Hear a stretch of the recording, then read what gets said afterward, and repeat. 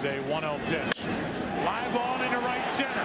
Back at the track. This ball is gone. And Adrian Beltre has put the Rangers up 5-4 in the seventh inning of game six.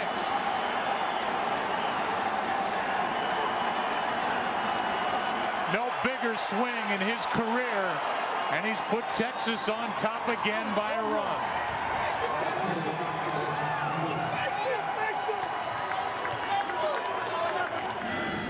Here's a one-two.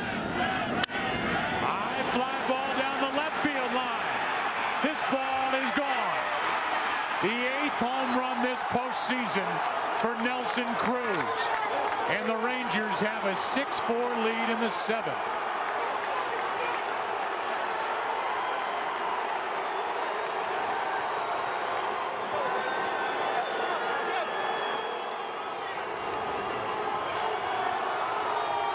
That ties a single postseason record with number eight.